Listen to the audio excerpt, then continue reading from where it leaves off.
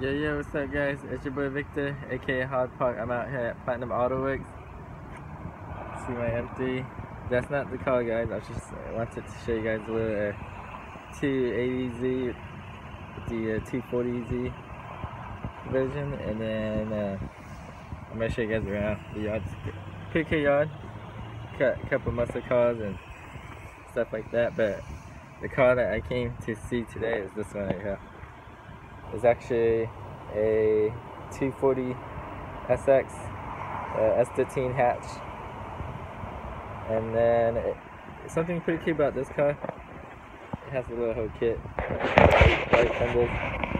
Uh, got that wide body panel back now. Pretty clean stuff. Pretty cute, cool tail lights. It actually has a great exhaust. Pretty cool. A great JD. I look.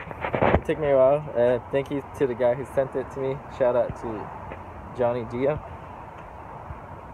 So this car is super clean, uh, beautiful body. Got the wide body panel thing going on. Uh, a couple of things, uh, things and stuff, but it's not too shabby. Stock wheels.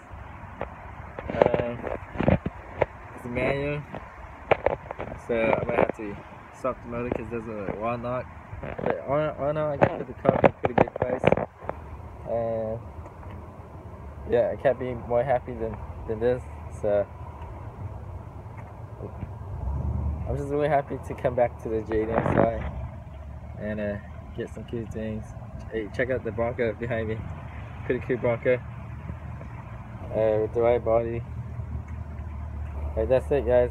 Just wanted to keep you guys updated. You guys uh, keep it 100.